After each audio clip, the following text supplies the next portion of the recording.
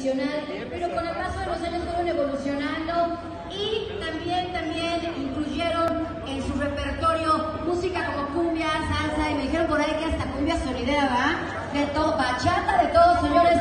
Así que bueno, ya es momento también de ponerse un poquito guapachosos.